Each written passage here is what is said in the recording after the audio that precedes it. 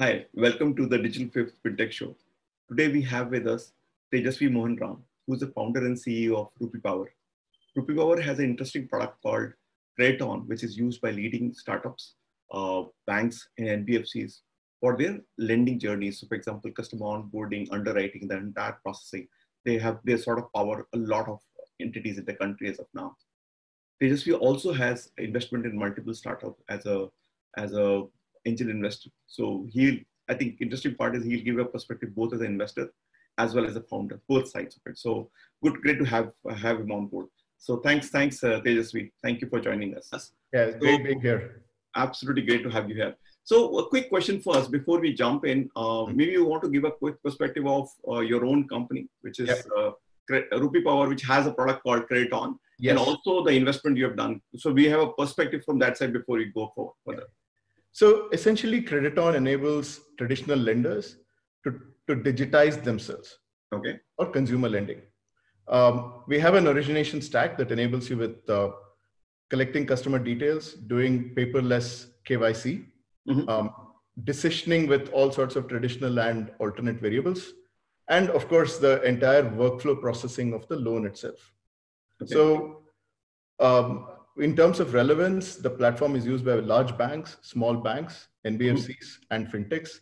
Mm-hmm. Uh, it's currently being used by about 16 lenders in India. And across these lenders, we we enable them to disburse credit cards, personal loans, uh, loan against property, and and some SME loans. Mm-hmm. And we have enabled the disbursal of about eight billion dollars of credit. Eight billion dollars. That's yeah. that's not a small money. Yeah, it's it's not small money. It's uh, a huge number of customers as well, considering a large part of this comes from credit cards. Okay. And we work with a whole host of uh, lenders, large names that you would have heard, the largest banks in the country, small hmm. finance mm banks, NBFCs, and fintechs. Okay. Um, okay. As a part of this journey, over the last six years, we have also done some investments in uh, fintech startups, okay. uh, namely MoneyBloom, which is a B2B fund management platform mm-hmm. for intermediaries like banks. Riskovery, which is digital insurance, Zimyo, which is the intersection of HR tech and fintech, and Ancora, which is finance for the gig economy. Mm-hmm. Mm-hmm. So these are some of the startups that we have invested in. Um, normally, we are the first investor. Um, we do that because we know the founders, we have understood their product, we have understood their pain points, and we have under- when we have seen how they have approached the problem over a period of time. Okay, very interesting. So uh, I, interestingly, I've been very close to the fintech community, but we've never invested ourselves. Uh, maybe next time we will do, we'll do it together, I guess. Yes, we should. Yeah, absolutely. Some of these are actually, we have done as groups okay. of fintech entrepreneurs or consultants, influencers. And it's mm-hmm. actually quite interesting the various viewpoints that come across as a part of an investment decision. Absolutely. Absolutely. So I think since you are at an intersection of both uh, retail and SME lending and also on the investment side, so I think it will be great for, for us to understand what's your view on the impact which coronavirus has on uh, the lending industry in specific and maybe fintech in general. general. All right, let me start with lending industry. I think as in the way we see this, there is revenue loss for corporates of about one to three quarters. Okay. Um, I think that's substantiated by the view that Bajaj also came out, Bajaj Finance also came out with a few days back. They're looking at a one quarter revenue loss for corporates. We are mm-hmm. looking at it as it could be anywhere from one to three three quarters. A substantial percentage of revenue loss. Now, when it comes to consumer lending, the most important factor, let me start with the salaried employee. Um, employment is the biggest driver of the consumer lending industry. The longer this stress lasts, the effects on employment are going to be disproportionate. Which means if this lasts for just one or two months, then the current moratorium that we have, along with a little bit of restructuring, should be able to take care of the problem. And then we'll see a return in demand as well as a, a correction in portfolio quality. Okay. But if this were to last for five to six months, there will be disruption in employment. Um, once that happens, then there will be there will be some sort of portfolio level problems at lenders. Um, mm-hmm. We will obviously see at that point a two prong um, diversion of good lenders and not so great lenders. The ones with poor underwriting and mixed with poor capital base will get, you know, wiped out. compared to the first set. Mm-hmm. That's our view going for to the next three to nine months. Hopefully, mm-hmm. nine months we should all be fine. There should be a vaccine, and we should all be uh, we should all be fine. But at the end of the day, what this also means is that the whole um, rush to underwrite and to in reduction of rates that we saw over the last few years mm-hmm. is going to stop. Mm-hmm. So it's going to be a it's going to be a lender's market as opposed to a borrower's market.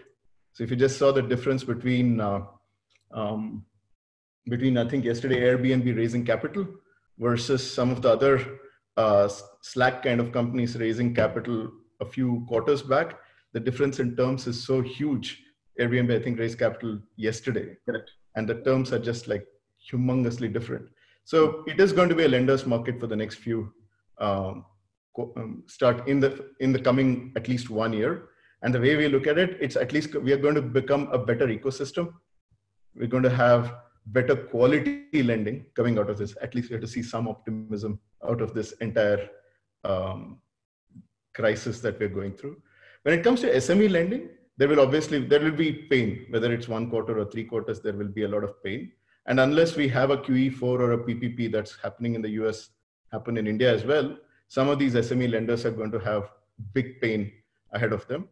Uh, and one of the offshoots is that operational ex- uh, excellence in terms of negotiated restructuring, collections, possession is going to become recovery, is going to become important. So, in that sense, lenders who have vintage and who have experience of doing this in the past will, will do better than lenders who don't have the experience of doing things like restructuring, collections, recovery um, over cycles in the past. That's our um, so whatever happens, there are painful decisions for everybody ahead: employers, employees, SMEs, um, you know, lenders, borrowers. Everybody will have some difficult decisions to take over the next few months. Any any views on the wealth side of it? Because this is lending side. Any views on the wealth side? it's a difficult. It's an even more difficult one because on the wealth side there might be an erosion of demand for mm-hmm. a while uh, there is no surplus capital to invest kind of scenario if this lasts long. Having said that, assets are cheaper um, than ever before. So the smarter ones would obviously be dipping their toes into either funds or direct investing into stocks as we speak. Mm-hmm. But at the end of the day, it might lead to certain demand destruction on the wealth management side for a while if this lasts for longer.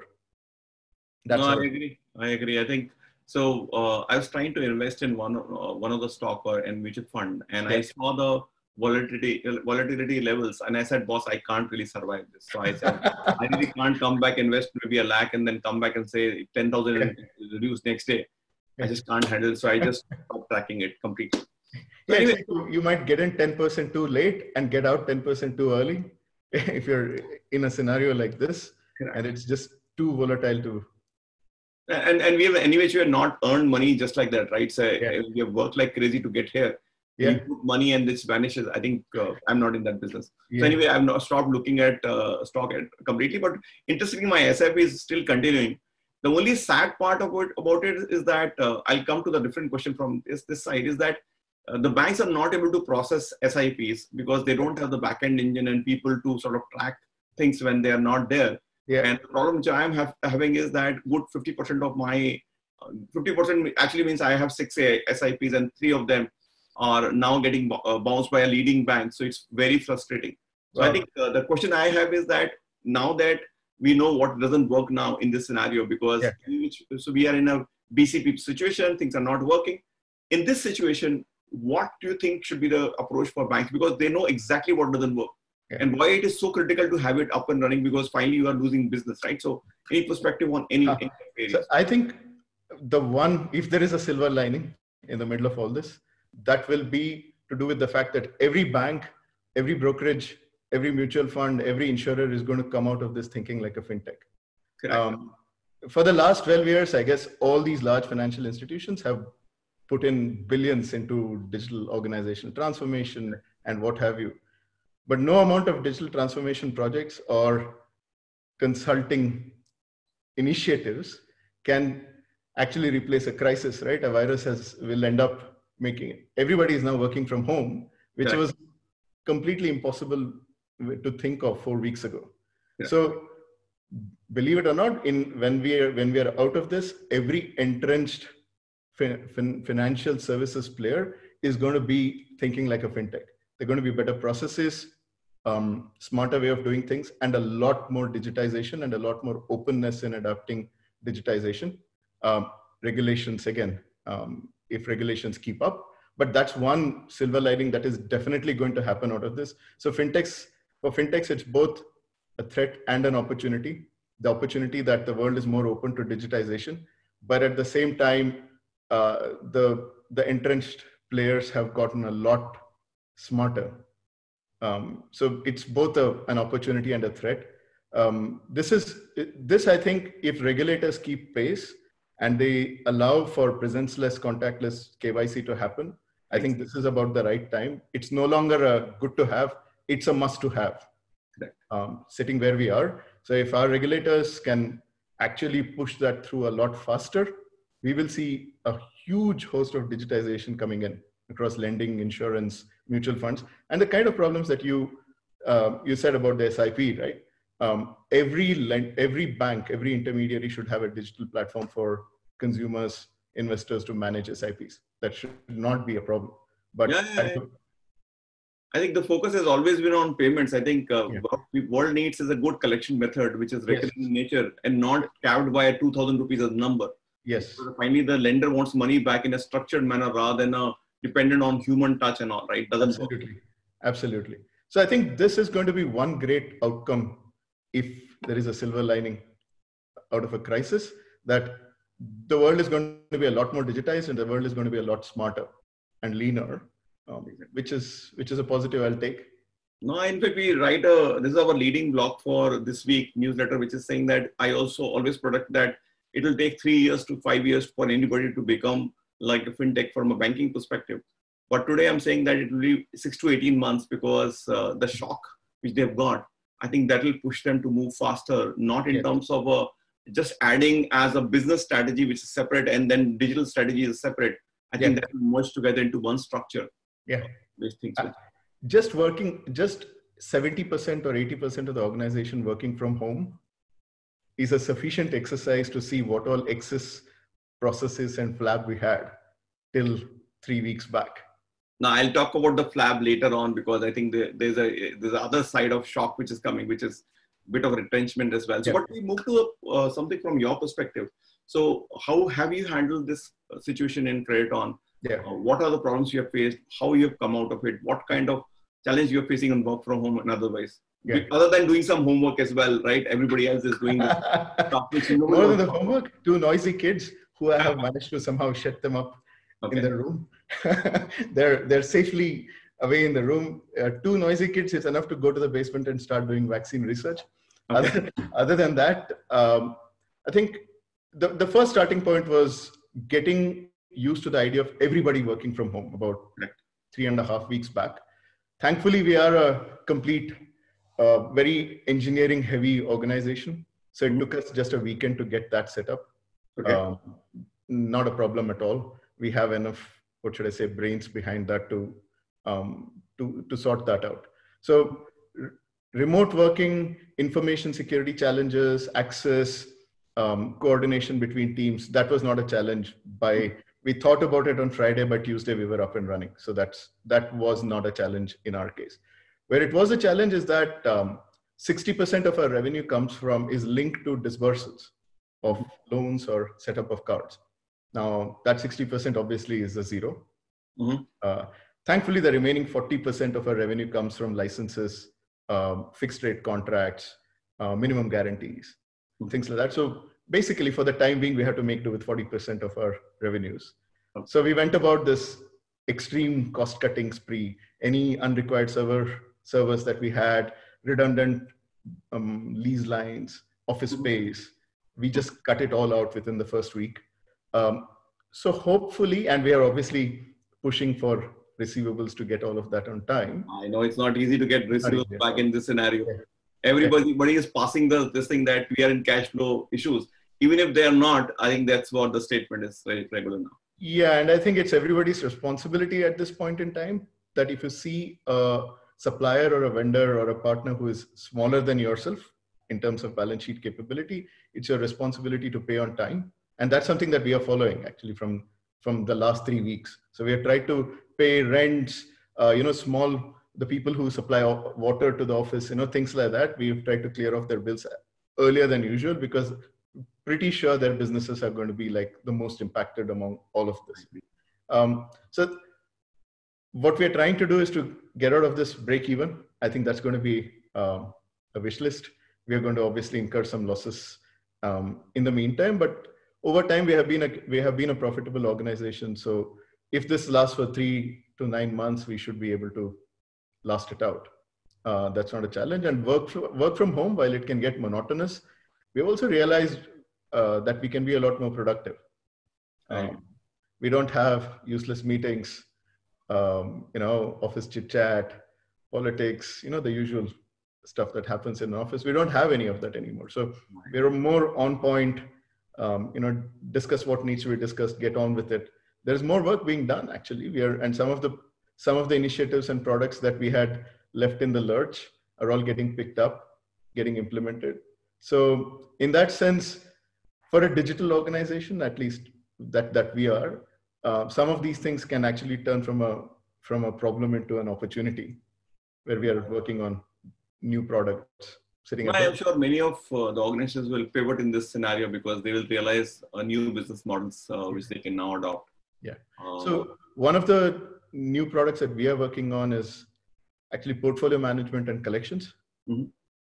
Um, not just as a platform that if tomorrow we see loan books go bad then there might be ARCs which actually need these kind of products. So we are working on something like that. This obviously from we have been thinking about it for such a long time, uh, but then you know, we never brought that product to completion.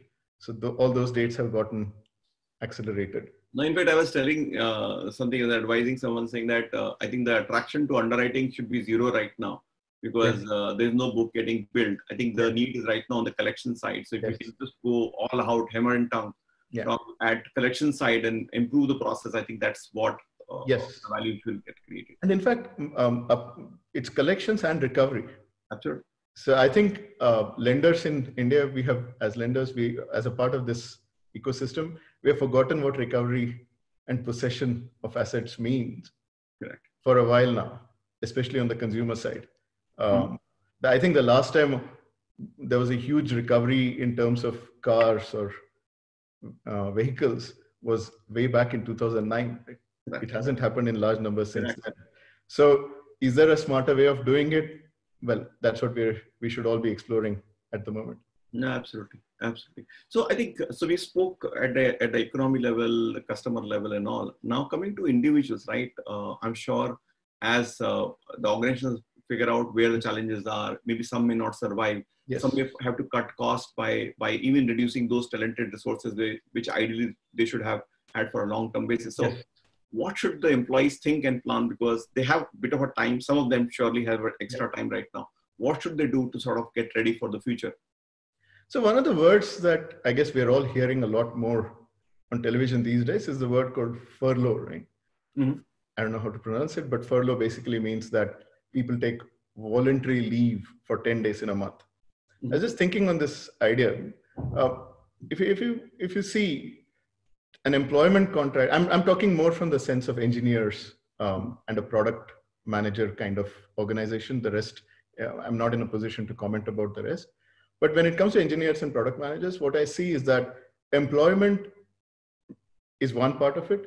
But let's say we get used to a world where the new normal is everybody works for only three to four days a week. Mm-hmm for their employer, but the employer makes it easy for the employee to take up consulting assignments on the side. Mm-hmm. Free to do it, mm-hmm. as opposed to this no compete, non compete kind of um, kind of contracts that we have.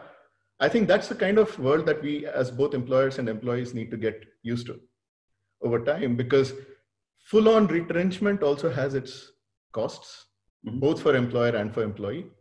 Um, big time on for the employee, but also for the employer in the long run.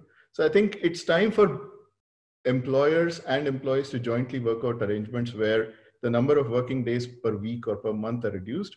But at the same time, engineers, product managers can use their skills and their talent to work on other assignments, consulting assignments, or work on other projects, which are in the gig economy, so to speak, mm-hmm. where uh, people can take up projects. And I think that's something that we all have to be open to going forward. Um, it's it's definitely where we'll all go because these skills are transmittable across employment and projects. In one of our investee companies, they're actually going to start and work on a new product. They were looking to recruit in February.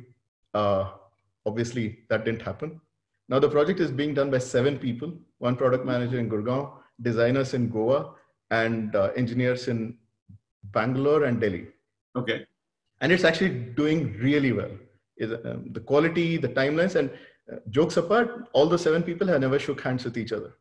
Okay. But the coordination is perfect. It's actually working really well. And I'm seeing it and I'm realizing that we should be able to use our skills in as many diverse directions as possible. So mm-hmm. I think it's time for anybody from engineering and product management has to start thinking how they can leverage their skills into mm-hmm. freelance projects, um, go to sites where such projects are being put up, be part of organizations or teams or loosely bunched group of individuals who deliver on such projects. Mm-hmm. So I think it's we will see an acceleration of the trend of the gig economy, especially when it comes to skills that can be de- delivered digitally. We mm-hmm. should all be prepared for it, both as employees and as employers. I totally agree because I think uh, uh, the usage of each individual will be different, right? And the other thing I see is that when people work in only one organization, one role, I think they get to tend to sort of pick up only one skill.